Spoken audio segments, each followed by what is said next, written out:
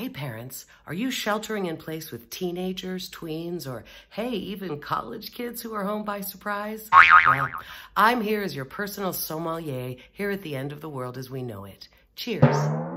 Let's talk wine pairings. If you're dealing with reckless adolescent behavior, thinking they're invincible, and not understanding of consequences, that's gonna be a Pinot Noir. Now, if you're getting more apathy, icy distance, and scary silence, you're gonna wanna turn to our good old friend, the Chardonnay.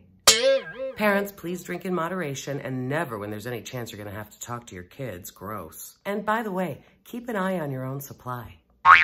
They're freaked out too. The last thing we need is those little hooligans raiding the wine fridge. Be well, take care, and stay tuned.